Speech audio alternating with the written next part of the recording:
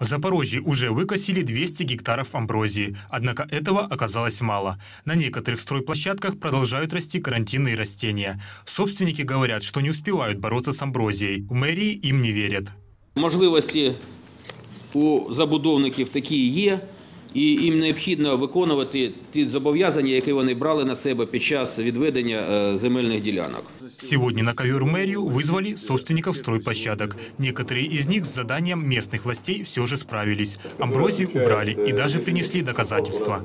В настоящий момент у нас свободно 20 число. Могу предоставить фотографии, которые э, засвидетельствуют о том, что данная территория убрана.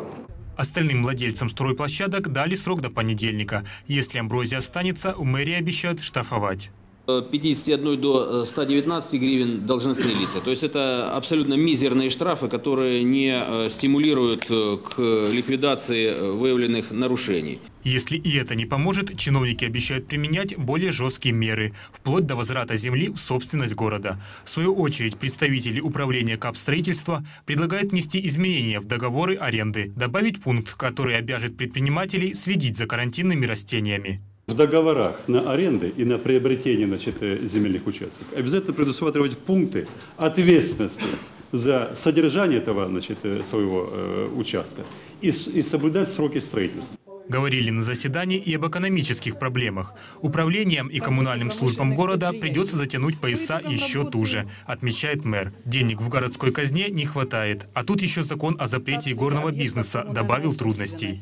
В результате э, принятия этого закона бюджет города в целом недополучит э, почти 22 миллиона гривен. И горные залы нужно было закрывать, но постепенно. Это мнение местной власти. А так в один день сотни людей остались без работы, а предприниматели с непогашенными кредитами.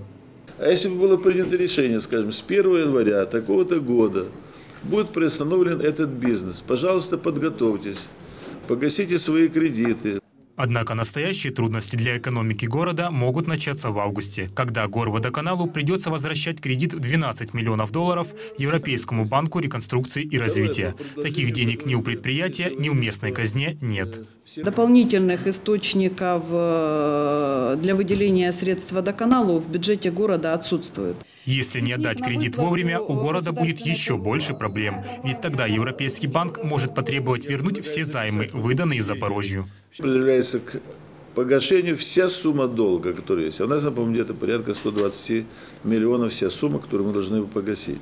Найти 12 миллионов нужно до 5 августа. Сейчас местные власти пытаются решить, на чем можно сэкономить, а также планируют обратиться за помощью к Кабинету министров.